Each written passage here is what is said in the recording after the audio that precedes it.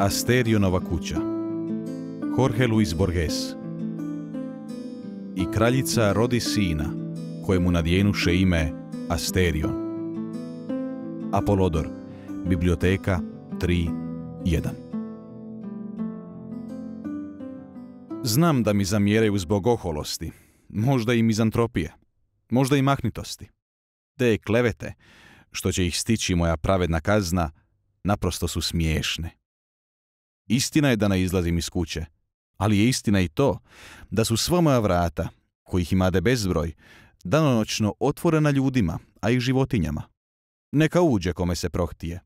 Neće ovdje zateći me koputnu raskoš ili veličanstveni sjaj palače, nego naprotiv, spokoj i samoću.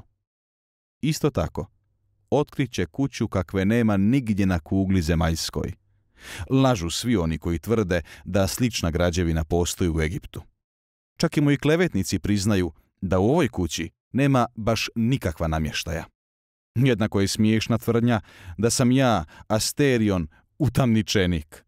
Po koji put moram ponoviti da ni jedna vrata nisu zatvorena, da nema ni jedne jedine brave.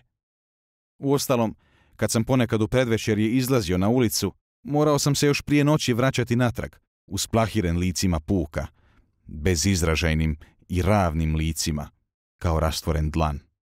Sunce je već zapalo, ali izgubljen plać nekog djeteta i molitveni žagor okupljene gomile kazivahu da su me prepoznali. Narod je molio, bježao, padao ničice. Neki su se verali podnožjem hrama zublji, neki skupljali kamenje. Bilo je mislim i onih koji su zaronili pod more.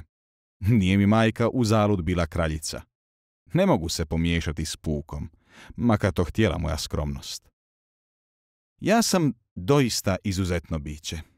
Ne zanima me što jedan čovjek može prenijeti drugima ljudima. Kao svaki filozof, držim da se ništa ne može priopćiti pismenim putem. Svoj duh, koji je predodređen za velike pothvate, ne opterećujem izlišnim sitnicama. Nikad nisam zapamtio razliku između pojedinih slova. Pomalo plemenito nestrpljenje nije mi dopustilo da naučim čitati. Ponekad zbog toga zažalim, jer noći i dani sporo protječu. Dakako, razonode ne nedostaje. Kao razbjesnjeli ovan jurim kamenitim hodnicima, sve dok se ošamućen ne srušim na tlo. Šćučurim se u sjenu čatrnje ili u zavijutak hodnika i igram se skrivača. Kad kad se stropoštam s krovne terase izranim do krvi. U bilo koje doba dana ili noći mogu se igrati sna. Sklopim oči i duboko dišem. Ponekad stvarno zaspim, ponekad dan izmjeni boju i kad otvorim oči. Ipak iznad svega mi se najdraže igrati drugog Asteriona.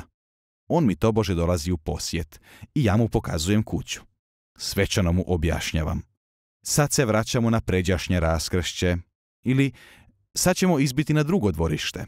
Ili znao sam da će ti se svidjeti ovaj odvod. Ili sad da vidiš čatrnju što se napunila pjeskom. Ili vidjet ćeš kako se grana podrum. Ponekad se zabunim. Pa obojica prasnemo u smijeh. Nisam samo izmišljao sve te igre, nego sam i razmišljao o svojoj kući.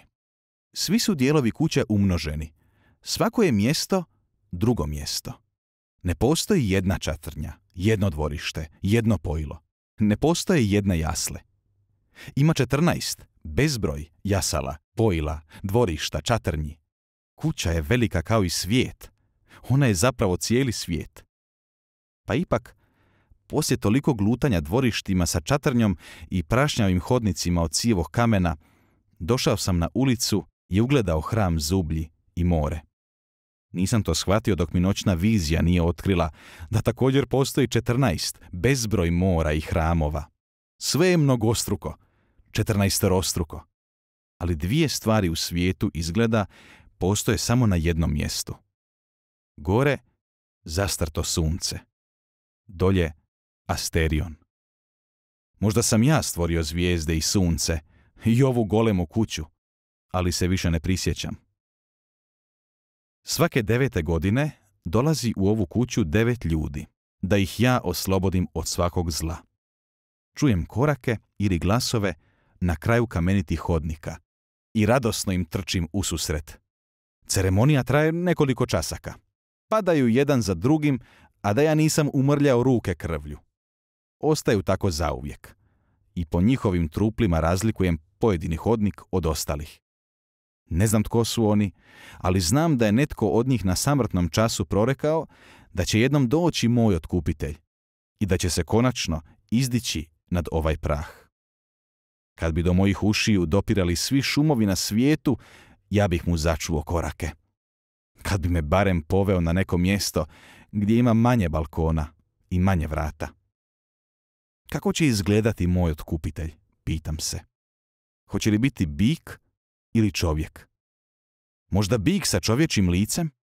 Ili će biti kao ja? Na mjedenom maču bljesne jutarnje sunce. Više nije bilo ni traga krvi. Nećeš mi vjerovati, Ariadno, reče Tezej. Minotaur gotovo nije pružio nikakav otpor.